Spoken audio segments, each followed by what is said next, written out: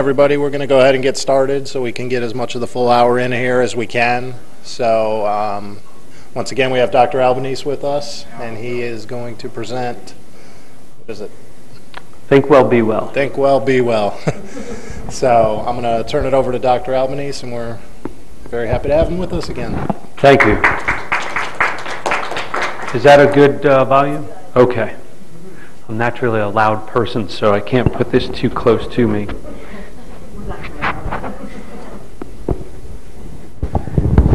Try that there. As long as my stomach doesn't rumble, we're okay. Okay, well, today's topic is, and I've noticed pretty much all the faces, so I won't go into the whole who I am thing, but um, today's topic is think well, be well. So when I start out this talk, I like to ask two questions before we start out.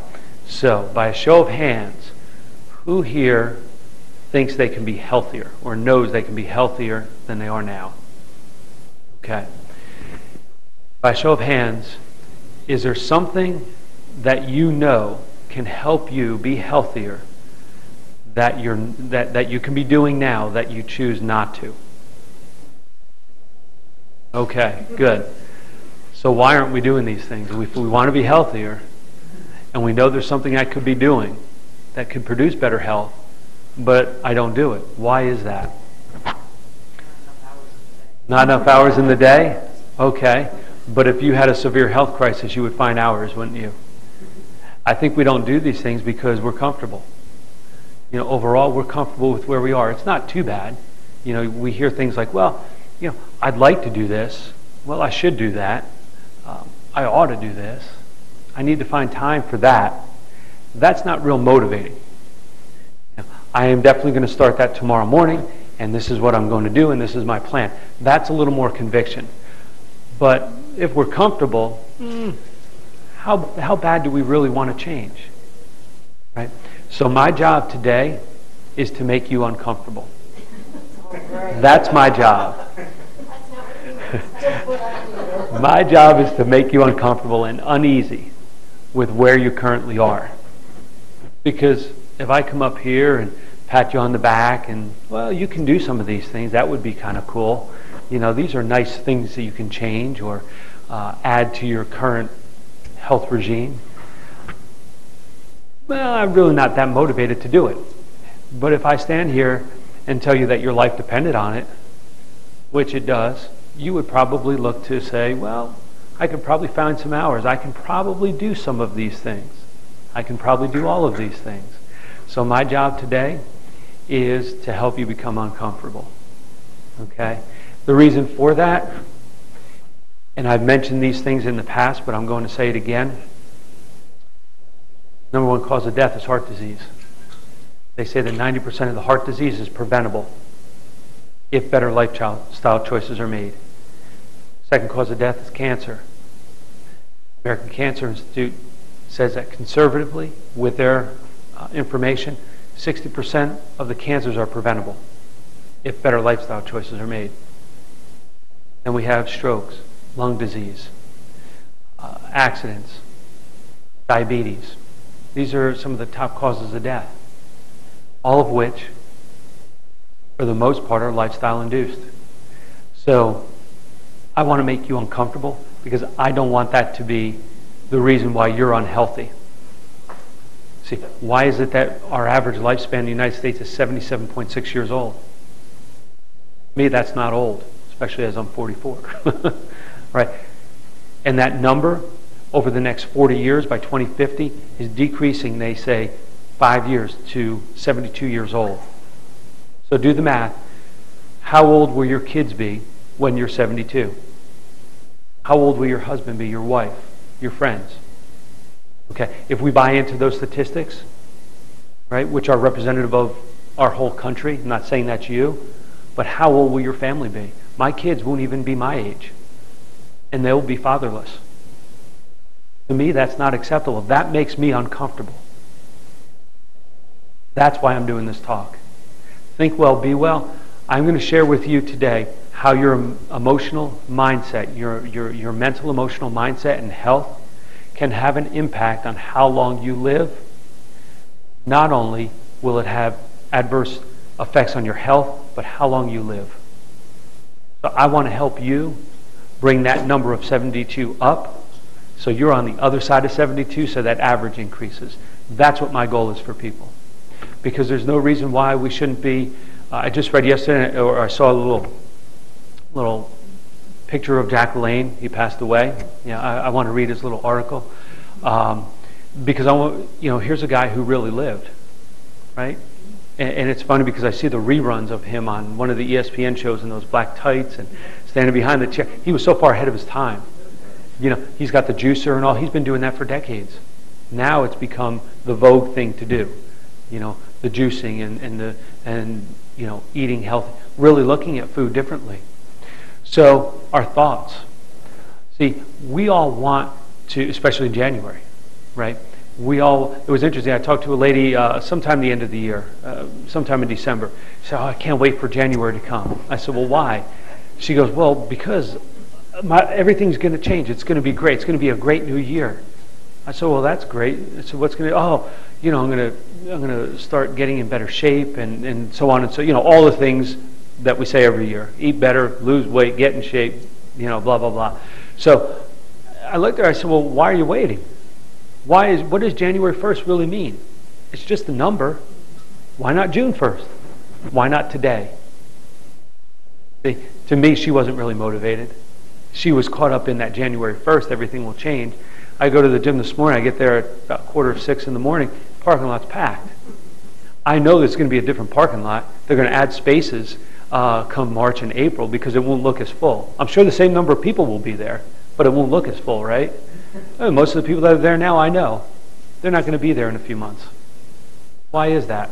See, we all want we all want to have, you know, better shape or better diet or better this or we all want to we all want to achieve some type of goal. So what do we do? We start doing things. We join a gym. We go on a diet. You know, I always think it's interesting the the um, New Year's resolution. I want to be more punctual. So what do we do? Well, what I'm going to do is I'm going to turn my clocks 15 minutes ahead.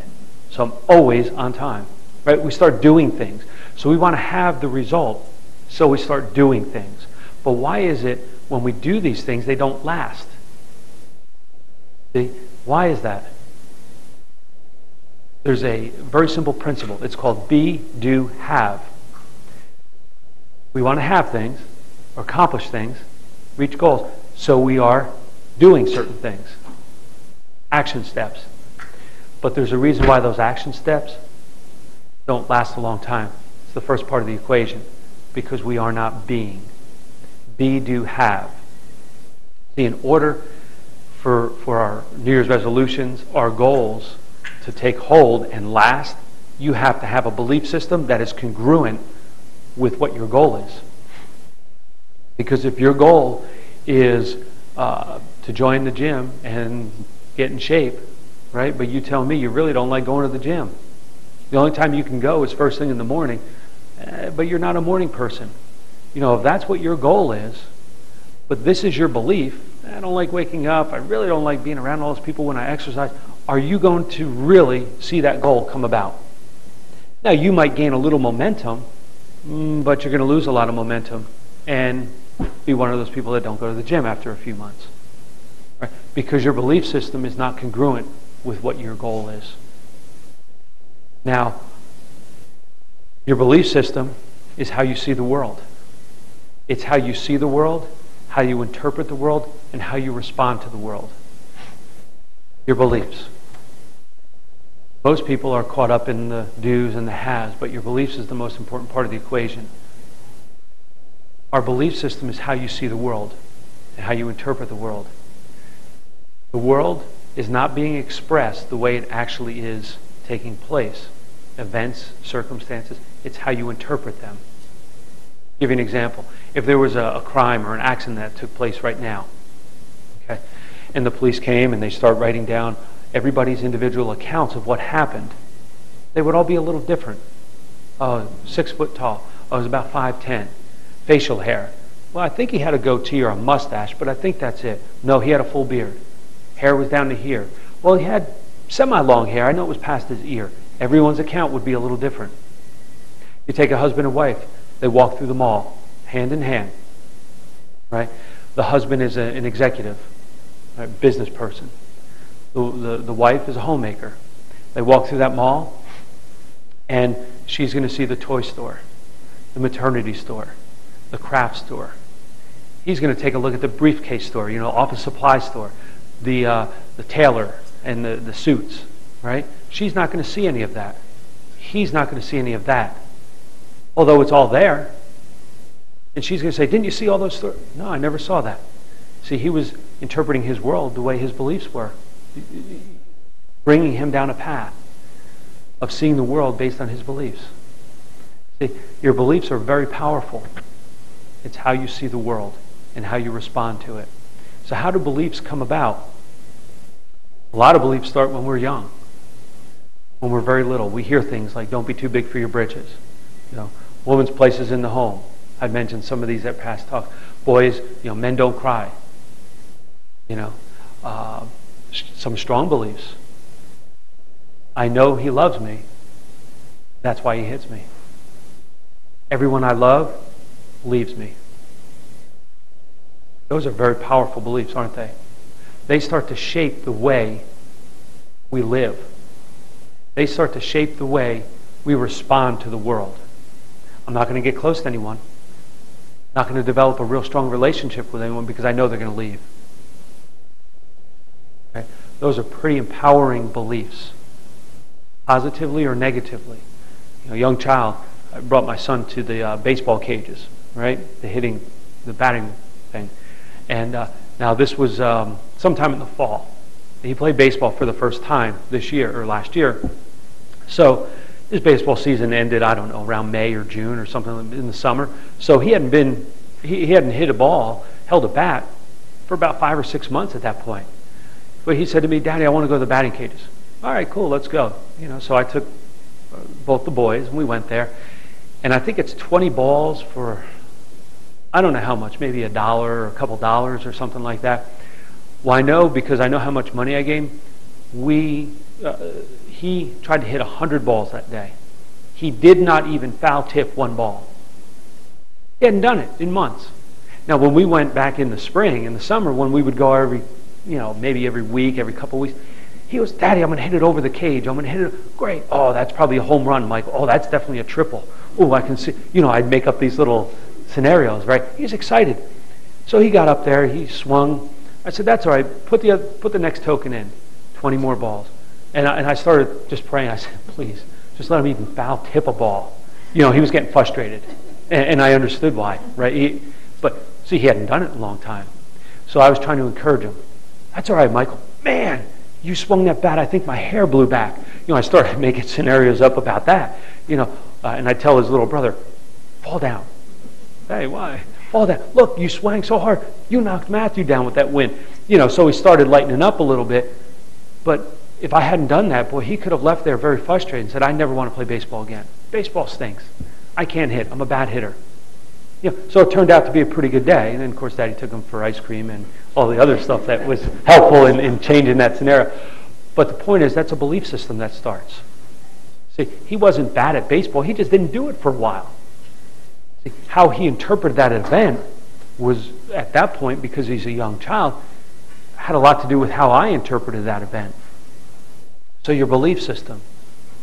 Your belief system starts when we're young kids.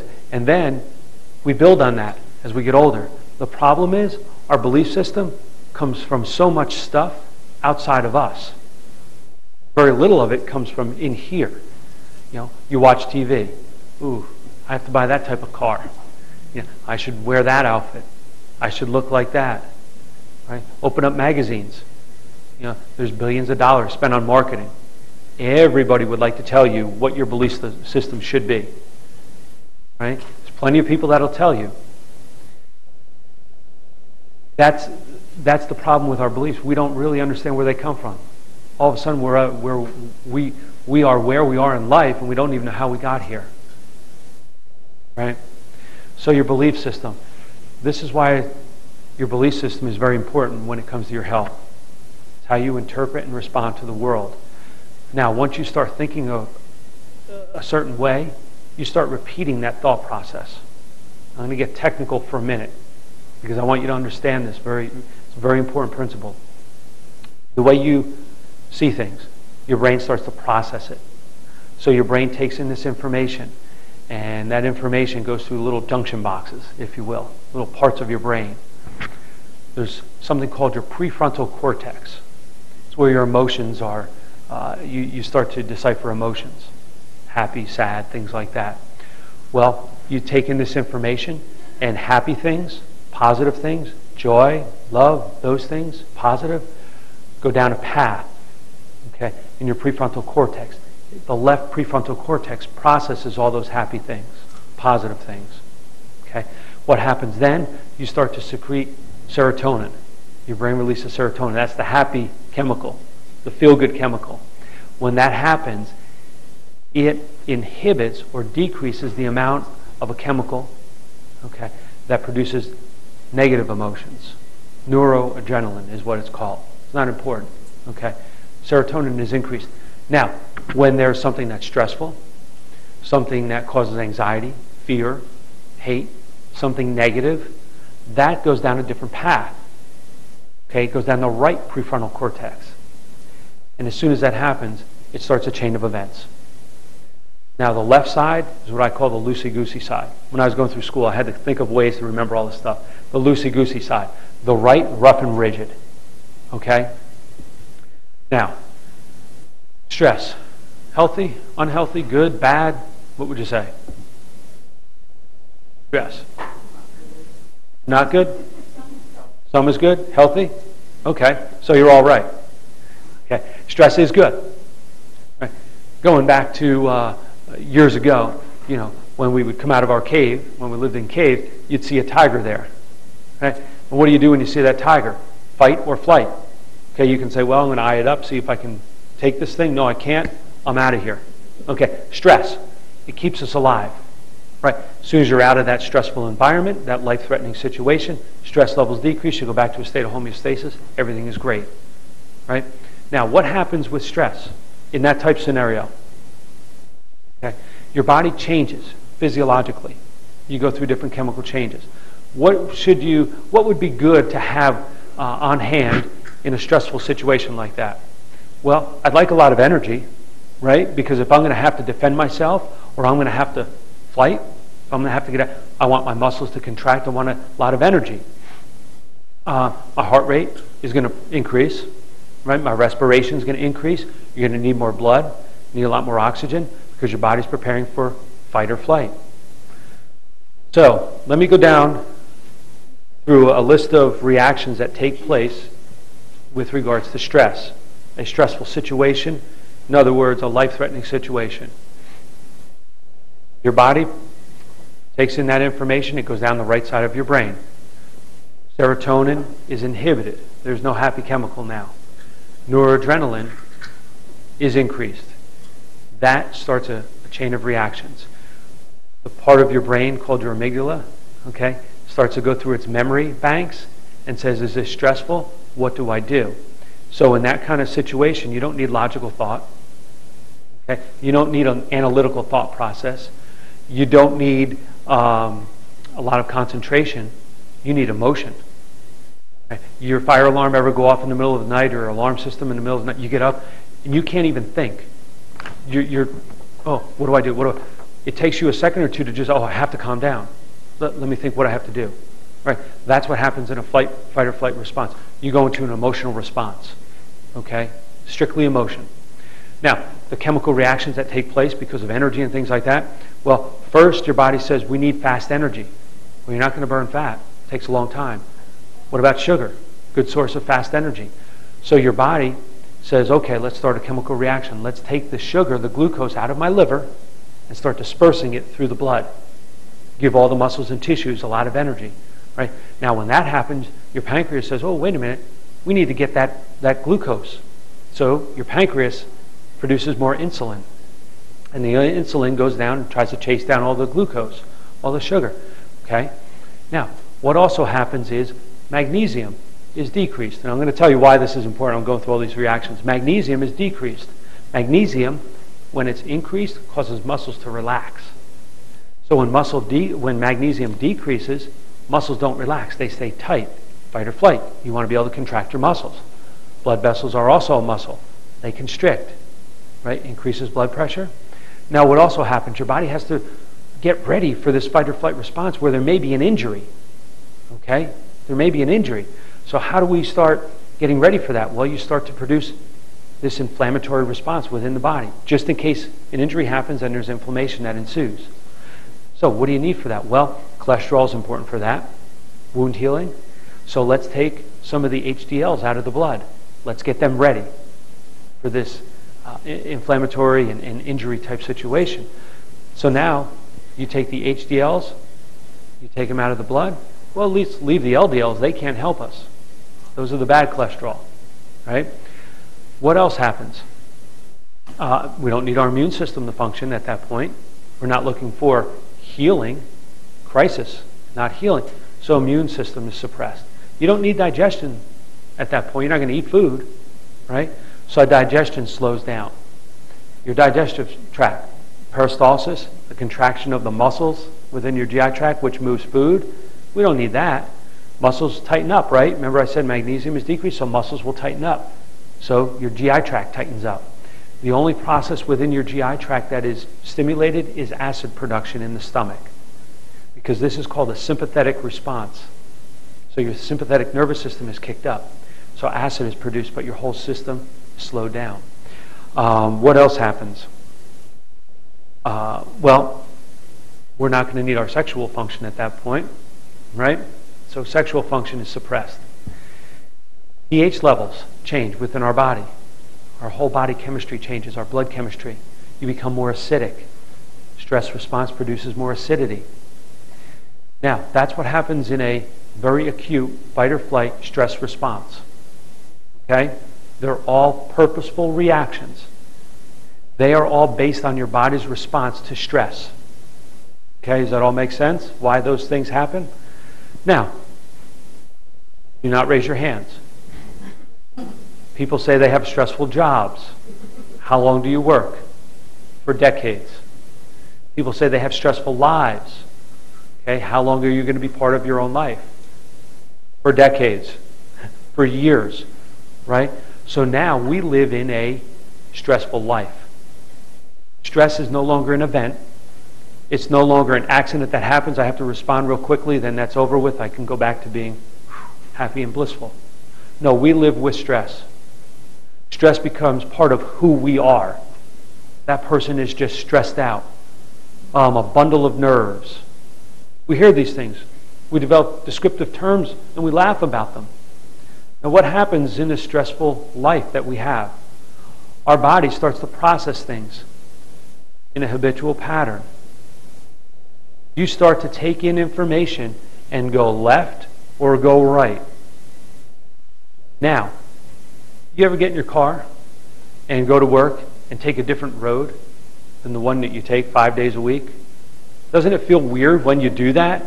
And you might have in your mind, okay, I have to pick up something before I go to work. I'm going to go to that store. Well, you're halfway to work, you pass the store, and you, oh, I forgot to stop. You backtrack because you just become sensitized to the way you always go. You don't even, if I were to ask you, what was on the side of the road today? I have no idea. I don't even know half of the things I pass in the morning because I'm, I'm just on this path. I just get used to going on it. I make sure that I don't crash. I make sure cars don't crash into me. And that's really all I'm thinking about when I'm driving. Right? That's the way your brain works. You start processing things the way you've always processed things. Your brain, there's something called neuroplasticity. Neuro, nervous system, your brain. Plasticity, you mold it. You start to shape your brain, right, into processing things the way it always processes them. Left side, right side. Right? So where are you? What road are you on? Left side or right side? Well, that person's always so happy no matter what happens. They, they always find the good in things. Oh, she is so stressful. I can't even be around her. Right? Somebody walks into a room. Oh, I can feel the stress they bring. Right? Start to process the world. Now, what happens when you do that over time? Well, when you have a stressful life, stressful job, when you have chronic stress in your life, this is what happens. Well, we become emotional. because we're not logically thinking about things. We base our thoughts on emotion because that's what we do with stress, right? We start to lose our short term memory. Can't remember things. Can't put things in place. Can't put my finger on it, right? Because you're dealing with just being emotional. Now, what happens in your body? Well, heart rate increases, right? Because we need more blood, pumped all over our body for this fight or flight response. So, years of that, what happens? Something called maybe high blood pressure, right? We need a lot of energy, right? So, what happens? Then take the glucose, filter it through the blood. We don't make enough insulin to keep up with the glucose. Does that sound like insulin dependent type 2 diabetes? We're going to take the HDLs, leave the LDLs, take the HDLs out of the blood, right, for wound healing. We also partly convert that to amino acids in the liver and for glucose too. But we're going to take the HDLs out. We're going to leave the LDLs in there. Does that sound like high cholesterol? Okay. Now, magnesium decreases. Muscles stay tight. Anybody have knots they can't get rid of? Tightness in the muscles. Not to mention a blood vessel, like I said, is a muscle, so it stays constricted. Okay, trigger points, muscle tension. Now, what also happens in this fight or flight response when insulin increases causes a reaction to say we don't need calcium. Take the calcium out of bone and excreted in urine. Right? Does that sound like osteoporosis? Where else is calcium found? What bone? Teeth? Does that sound like tooth decay? When you go from a neutral to a very acidic state, okay, acid basically erodes things. Okay? Tooth decay. Now, when your body is naturally acidic, or not naturally, when you when that environment changes and you become acidic, do you think you want acid floating around organs that are very important to keep you alive? No. You want to somehow build a wall up around your organs so that acid doesn't uh, erode those organs, right? Like it would the inside of the stomach, ulcers. So let's let's put fat around here. Let's put fat around our organs to protect them from the acid. Why is it people go on a diet, they change things, but they can't lose that weight? Or they get to a certain point, no more weight loss. Can't lose it, especially if you're stressful, because your body can't lose it because it's protecting the organs. What else changes? Um, well, your GI function. You produce more acid, burning, heartburn, ulcers. But yet your whole GI tract doesn't move very fast, slows down. Right? ITIS at the end of a word means inflammation. Have you ever heard of colitis, diverticulitis, irritable bowel syndrome? Right? Food doesn't move, constipation, bloating. Well, if you're eating food and you're constantly stressed, but yet your GI tract says, oh, we're going in first gear today, food's not going to move through, it's going to sit there. Right? Now we have all these gastrointestinal problems. Sexual function is decreased. I have no sex drive. Right? Now we have a, a whole condition, you know, that we name for those problems. Immune system suppressed. We don't need our immune function when we're stressed. So it decreases. Does anybody think it's interesting when flu season comes about? Flu season is a season now. Right? Summer, spring, winter, fall, flu. Those are the five seasons. Why is that flu season in the fall, in the beginning of the year, and not in the middle of July? Are stress levels different the end of the year as opposed to July? Anybody get sick in July? No. Everybody's happy. Sun's out. We feel good. What happens the end of the year? Well, Thanksgiving starts the beginning of flu season. Okay? Why is that? Well, what do we do? We sit down, we have this big meal and all that food, and we pile it on. Then we have cakes and cookies, all the sugar. That produces more acid, causes your pH to decrease, right? Then we have Christmas, We have big meals. Go to every family. I'm Italian, so go to every family, right? Everybody in your family, big meals, cookies, cakes, sugars, right? Increases acidity, stresses your body. Not to mention our stress levels increase. Year end, right? Holiday shopping, so you create the perfect environment for what? To get sick. Plus, your immune system decreases when there's stress. So you have no defense, and you're piling up your body with stuff that is toxic, right? And why do we get sick? Because we produce that. It's not flu season. Flu season could be any time. But flu season in every country, every country is when there's more stress. The end of the year around the holidays. Our whole lifestyle changes. So we live in chronic stress and we wonder high blood pressure, diabetes, osteoporosis, tooth decay, uh, increase in weight, uh, osteoporosis. We have all these conditions. It's not genes. Because I've had people tell me this. Well, what about genes? You know, my mom has this, my father has this, so and so has this. Genes do not cause you to be sick, no matter how sick your family members were. You may have uh, the genes from your family that have the potential to cause those conditions, but you have to turn those genes on. They have to be enabled. You have to have an environment that says, gene, express yourself. If you don't have that environment, that gene will not be turned on. Genes don't cause us to be sick. What causes us to be sick is poor lifestyle. If it was genes, then a child that every relative had high blood pressure would have high blood pressure at day one. Why does it take a gene 40, 50, or even 60 years to start producing high blood pressure if it's a gene? Because you have to create a toxic, toxic environment over decades that now that gene says, well, now I'm ready.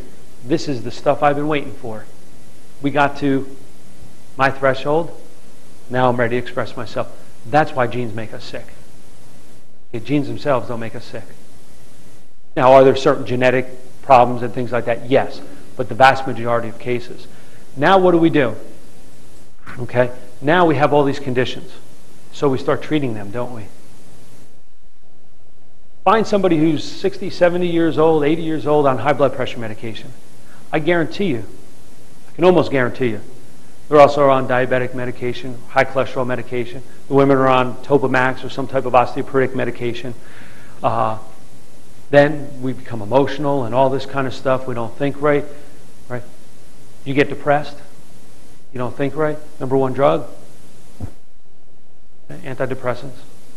Right? And we wonder why people in their 60s, 70s, and 80s, on the average, are on 13 different medications. This does not happen as just a rite of passage as you get older, right? This is a chronological uh, happening. Uh, not a chron- but, but a, a, a, something that has developed over years? Due to poor lifestyle. And then we treat people for that. Now understand why the blood pressure went up, why the glucose, you know, why the sugar went up, why the calcium uh, is excreted in urine. Understand why that all happens. Because of stress, stress response, to keep us alive, right? So now we start treating and we say artificially, let's take this blood pressure medication to decrease blood pressure. What is your body going to do? Increase blood pressure. We're increasing blood pressure for a reason, as a physiological response to stress. And now we try to bring it down. Ask anybody if they've been on high blood pressure medication when they get off. They don't. They stay on for life unless they radically change their lifestyle. Right? Come off the medication, blood pressure went up. Eventually, the blood pressure medication doesn't work the way it used to, so we have to give new ones. This medication doesn't work the way, let's give a new one. Why? Because your body is saying, we need the blood pressure up, we need the glucose up, we need all these things to happen. It's a proper response to stress. But we see it as a condition and we treat that condition. Meanwhile, we leave the ultimate underlying cause left uncorrected. And we have a sick society. And that starts with your thought process. There are other essentials to health, a lot of which I've talked about in the past. You know, exercise, nutrition, uh, rest and sleep, your nervous system. All these things happen with all different types of poor lifestyle choices. Thinking well can definitely stop those things from happening or decrease those things from happening based on obviously your other lifestyle choices. But just your thought process can bring those things about. So when you say, think positive, I'm going to think positive this year. Why? Because it keeps you alive. We say, oh, think positive, feel better. Yeah, you'll feel better, but you'll be better. If you start to change your belief system and understand what positive and negative thought processes can actually do to you, hmm, now I have a little bit of a motivating reason to change my thought process, don't I? See, if I didn't go through all that, I can say, well, affirmations and goals and thought, you know, positive thinking, that's all great. It's more than positive thinking. Positive thinking, I can think positive and still be very sick. Right? It's having a healthy thought process, thinking well, not just being positive. That's important, but thinking well. See, we all want the have, the destination. Right? Ask a 12 year old, what is it like to be 12? It's great, one more year. Why? Be 13. You know, 20 year old, one more year, be 21. 64, one more year, finally get to do whatever I want. Right? We're all waiting for that destination, but the problem is that destination isn't what it's all about. See, life is not a destination, it's a journey. It's a journey. It's not about being perfect, it's about making improvements. We're never going to be perfect. Well, I won't get into me. But anyway, but we're never going to be perfect, right? But it's about improving. Right? So we can improve on where we are. You start to change your lifestyle. They say about three years, you change your whole physiology. You see this on like Dr. Oz now. You, you ever see Dr. Oz where they take the age of someone? I'm 49 years old. Okay, 49 chronologically, but your heart's 72. Your liver is this, this and this, right? Because of the toxicity that's built up. Then what do they do? They radically change their lifestyle, don't they? They start exercising, they start eating better, and this and this and this. And all of a sudden, those numbers start coming down more in line with their chronological age. You can change that. Now, it starts with your thought process. See, all of those people didn't just go on a diet, they saw they were dying. That gave them a sense of being uncomfortable, uneasy. I was watching this show. I don't know how I started watching it. This um, uh, celebrity rehab with Dr. Drew, and they were sitting there in front of this kid. Uh, I don't know who he is. He's like a billionaire son or something, right? And uh, I think he's in his 20s, maybe late 20s, something like that. They said his body was that of an 86 year old. And they were trying to help him. Now, his was probably all these lifestyle things, but also drugs, obviously. Right? But they said, if you don't stop doing drugs, you're going to die. And that wasn't like a cool, uh, not a cool, but, but a way to motivate him. That was a reality. Your body is 60 years older than you are. That also can happen with thinking poorly, thinking unhealthy, right? Along with the other health choices. It's not just one thing. So, how do we start to change our thought process? Neuroplasticity, right? You start to think differently over time. 22 days to create a habit. So start with 22 days. Start with one day. And then two, three, four, 22 days, it becomes a habit. Becomes part of your the way you think. This is just what I do. Right?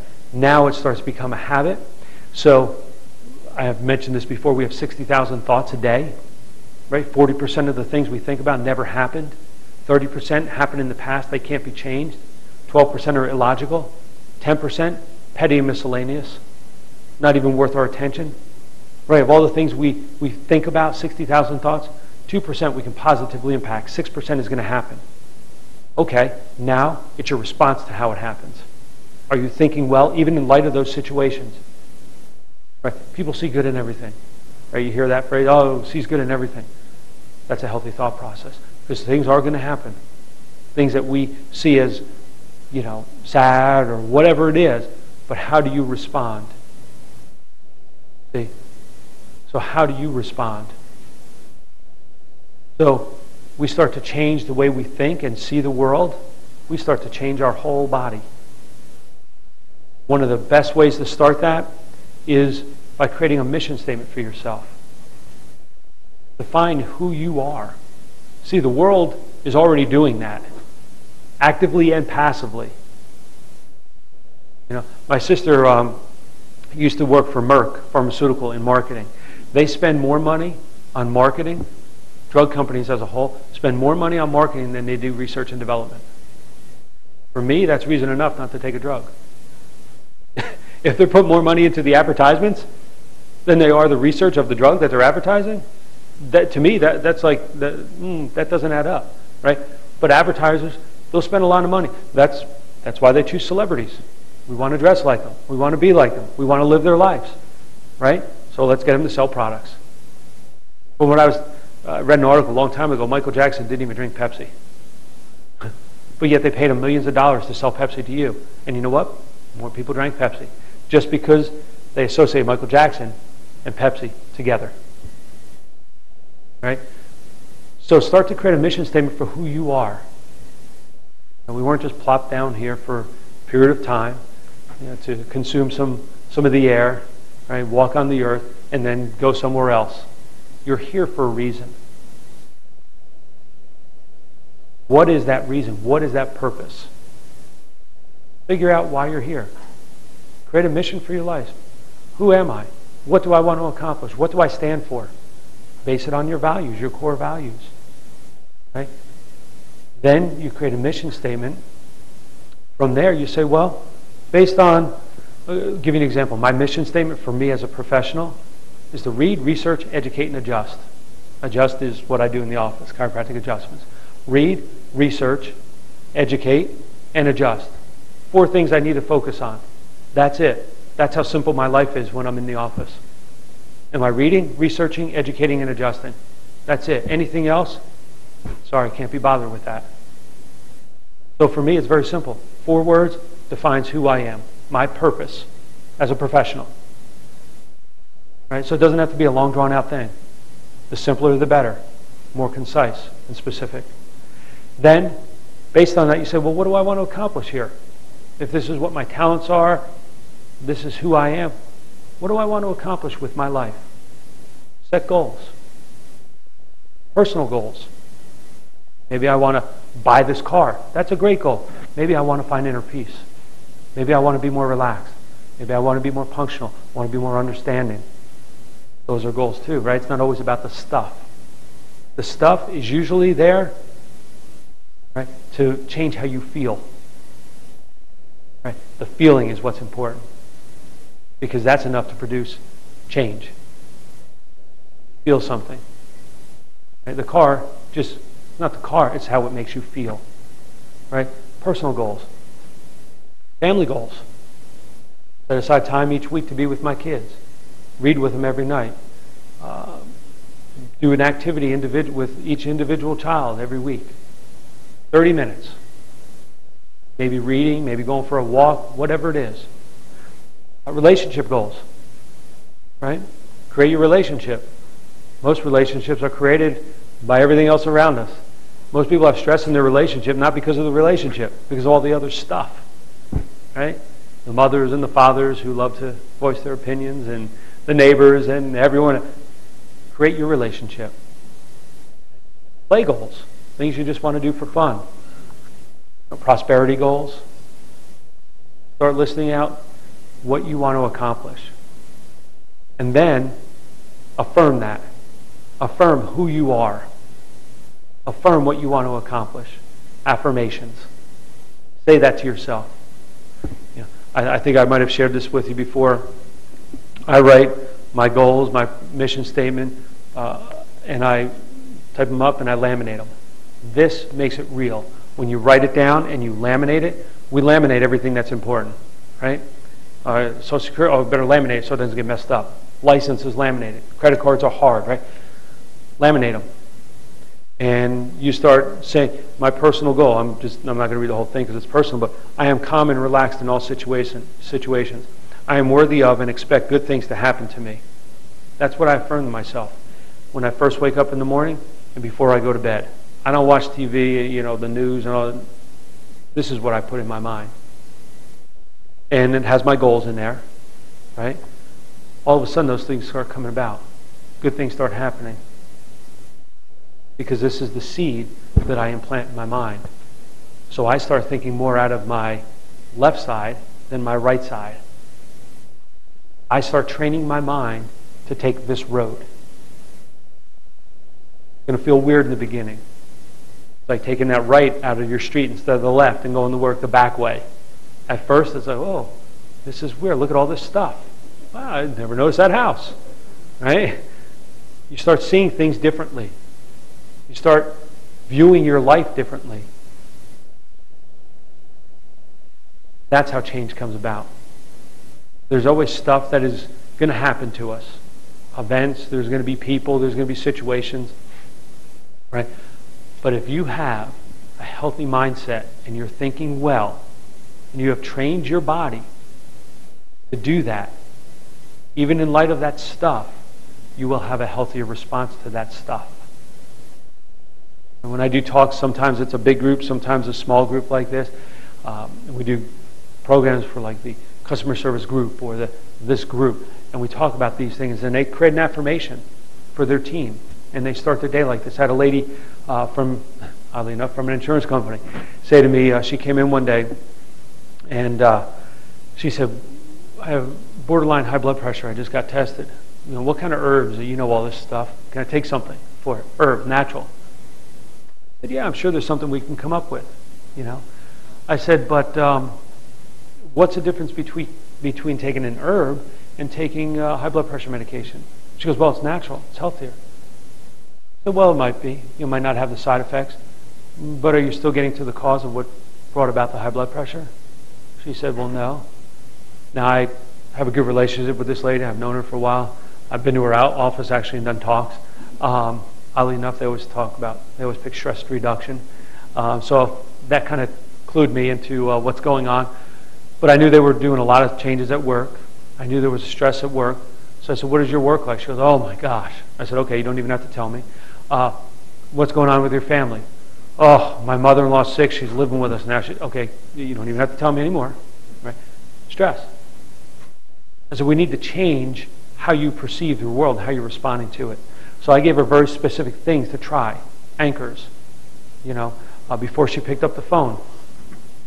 Before you pick up the phone, tap the phone once. Tap in, right? It's like with wrestling or something, you know, you go into a ball game, a tap in, you know, you go into the game, tap in, get your game face on. That call can be an irate person that's going to go absolutely berserk, but it's not you, right? You're not the one that's causing that person to respond like that. You're not, you didn't create the situation. So realize that beforehand, have a better response. Don't get all keyed up about it. Um, and we came up with little things like this, affirmations being one of them. Right? Her blood pressure went down miraculously. Then she said, Do you think this will work for my whole team? Said, well, why not? Absolutely. So she went around the office and gathered up the people that she was um, that she managed, and she said, "This is what we're going to do." And of course, some people said, "Oh, that sounds cool," and, and you get the eye rollers, right? But fortunately, she got everyone to get involved. And what they did was they shared key words that were triggers for everyone. Like one lady just had a newborn baby, they said his name, and that got her into a healthier state. When she was a little stressed, they would just walk up to her. I don't know what the boy's name was. Say, uh, Michael. Right? How's Michael doing today? Or, what did Michael do yesterday? That would change her state. Right? Somebody else had a different trigger. You know, maybe they love boating. Hey, how's the boat? You know, uh, maybe they said something like Cobalt is the name of their boat or something, right? But they came up with triggers, so everybody on that team knew the other triggers. Right? So that changed. When they were stressed, they would just walk by. Michael. Oh, yeah, that's right. You know, if they look stressed out. That started to change their thought process.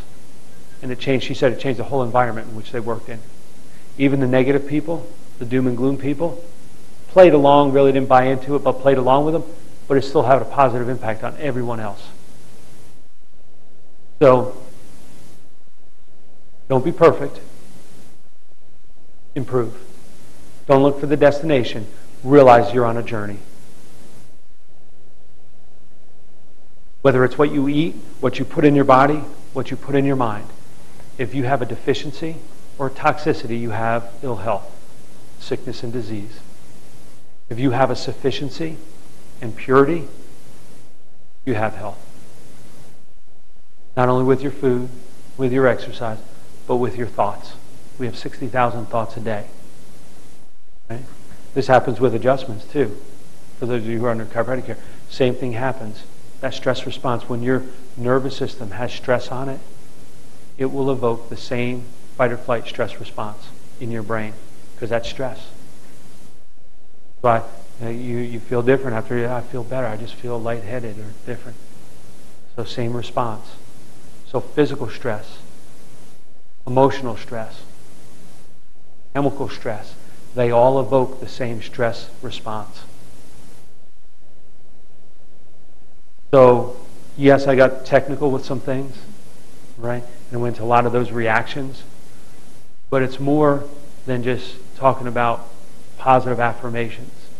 You know, be happy. I wanted you to understand what the effect of being happy does on your body, what the effect of being negative does to your body, being stressed, always anxious, fear, right, despair. Those things will produce negative health consequences. So hopefully this sheds some light on thinking well. Okay, thinking well, be well. That's that's a synopsis of the talk in the title. If you think well, you will be well, or weller, right? Because you have to look at everything that is involved with health. So I thank you. Kim has a packet of information that we're going to hand out. And uh, again, if anyone uh, would like to visit us in the office, we give you that opportunity. Uh, you bring $10 worth of food, we donate it to the food bank, and we go through your exam, x rays, and all of that to see how we can help you because the adjustments also change your mental emotional state. You've Got to work on that continual thought process, but they change your physiology. They change the way your body works. Not just about pain. So, Kim has that information for you. Uh, if you have any questions, you can email me. Uh, we have our address, phone number, stuff like that. So, on our website, there's also some great links to some resources for you. Uh, some authors, DVDs, tapes, stuff like that, um, that can be beneficial, especially if you're driving to work over a period of time. Put something in that's positive. Start putting that in, in your mind. So I appreciate your time. Thank you for having me.